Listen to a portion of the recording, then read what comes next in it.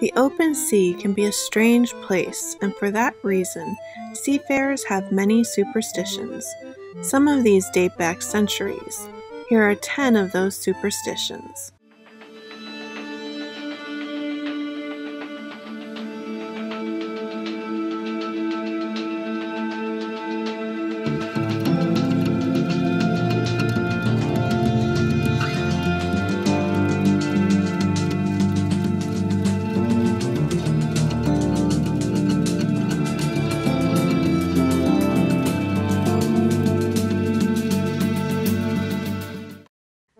Number 1 No Redheads. There are many cultures that believed redheads were unlucky.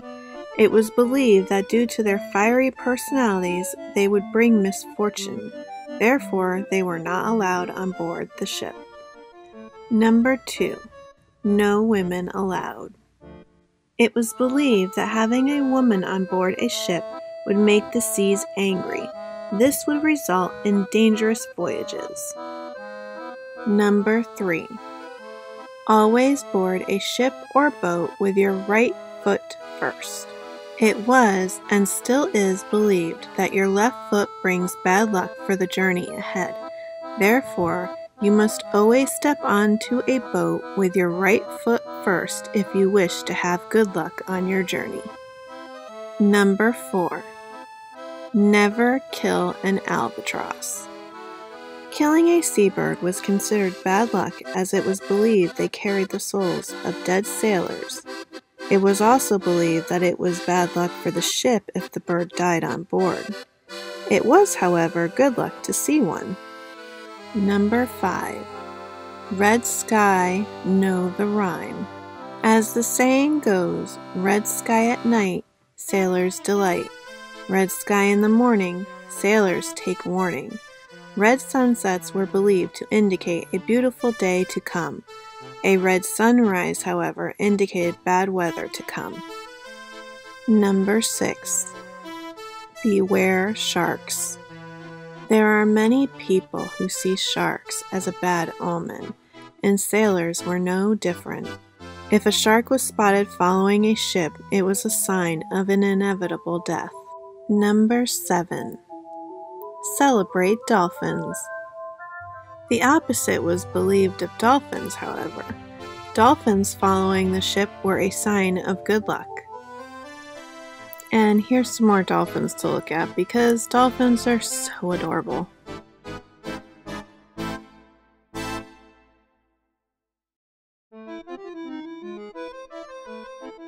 Number 8 Always salt your nets. The blessing of sprinkling fishing nets with salt at the beginning of the season was believed to bring good luck and plenty of fish. Number 9. Cats are good luck. Cats on ships ensured any rats sneaking aboard did not last long, which kept diseases down and cargo safe. Therefore, cats were seen as very good luck to have on board a ship because they were very beneficial. Number 10. It is bad luck to rename a ship. As promised in my last video, I would go more into the ritual behind renaming a ship if it must be done. The purging and renaming ceremonies were important because without them, the ship would only find misfortune. As the legend goes, every ship has its name recorded in the ledger of the deep, this means every name is known by the sea god Poseidon, or as he is called in Roman mythology, Neptune. In order to change a ship's name, you must first remove the name from the ledger of the deep and the sea god's memory. In order to perform a purging ceremony, the owner of the ship must first cleanse the ship of its former name, meaning all traces of the ship's former name must be removed from the ship. This also includes any logs or records that may contain the ship's former name on it. After that, the purging ceremony may take place. The purging ceremony consists of writing the old ship's name on a metal tag with water soluble ink and two bottles of champagne. A special verse is recited to the ruler of the seas, then the tag with the old ship's name is dropped into the water. After that, another verse is cited, and at least half of the first bottle of champagne is poured east to west into the water. After the purging ceremony has been completed, the renaming ceremony can take place. This will require the second bottle of champagne and calling upon the gods of the sea once more. For a complete description of their ceremonies, I will leave a link in the description below. And those are just 10 seafaring superstitions, but there are many more from all around the world. If you would like me to make a part 2 to this video, leave a comment below and let me know, and I will be happy to do so.